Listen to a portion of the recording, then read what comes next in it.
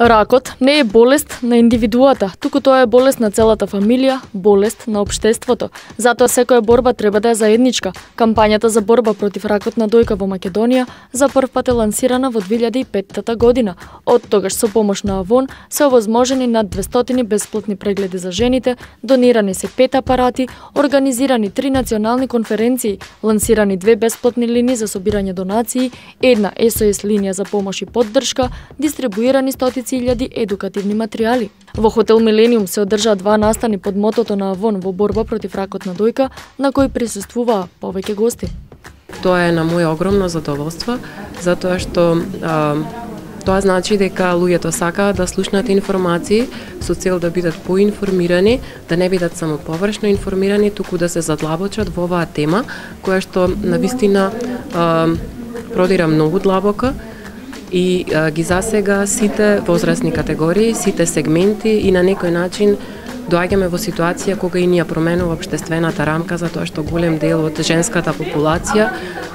е неработоспособна заради моментот кога се лекува од рак на дојка, која што е најраширена болест кај женска популација на 21 век. Свесноста така кај жените во однос на оваа болест е се уште на елементарно ниво. Поради таа причина, едукацијата на жените, како и раната детекција, се повеќе од потребни во сите клетки на општеството. За несреќа, можам да кажам дека дел од нив се воопшто не информирани, токму заради фидбекот и аспектот дека нема никогаш нив да им се случи. За жал, се случува многу често, недемни оваа болест, И токму заради тоа, мојата цел е да пропагирам дека со редовни самопрегледи, со јавување на ехо, мамографија и така натака, значи цела една процедура која што треба да се помина, оваа болест може рано да се диагностицира и многу успешно да биде излекувана дури во 90 до 95% од случаевите. Компанијата Авон во своето портфолио вбројува и производи намените за добротворни цели, чиј профит целосно оди во хуманитарните кампањи за борба против ракот на дојка, со купување на на производ со розова панделка, граѓаните активно донираат за фондот за истражувачки цели и апаратура во борба против оваа болест.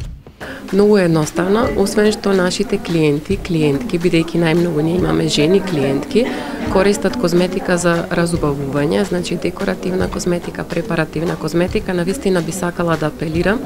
со секоја нивна нарачка од нашата брошура да нарачаат и производ со розова панделка. Розовата панделка е светски признат заштитен бренд во борба против рак на дојка, со тоа што сите средства кои што ние ќе ги добиеме со купувањето на тие производи, ги донираме онаму каде што е најпотребно, дали за истражувачки цели, дали за одредена апаратура или пак во соработка со Сдруженијето Борка и не да ќе ми дозволиш да направам една најава. Сдруженијето Борка, чиј што председател е Биба Додева и е моја многу драга лична пријателка, ни понудија конечно во Битола да отвориме подружница на тоа здружение затоа што конкретно во нашиот регион има многу случаеви на рак на дојка и на тие жени им е потребна нашата поддршка и нашата едукација како понатамошно да се лекуваат и како да излезат како победници во борбата против рак на дојка. Населението во Македонија има негативен став и страв од ракот како заболување. Со овие кампањи, организаторите истакнуваат дека сакаат да го искоренат тој страв, да ги едуцираат граѓаните и да ја подигнат нивната свест преку испраќање на јасна порака до сите дека ракот не смее да се третира како неизлечива болест и да ги охрабрат да се борат за да го победат ракот и да има зголемен број на успешно излечени.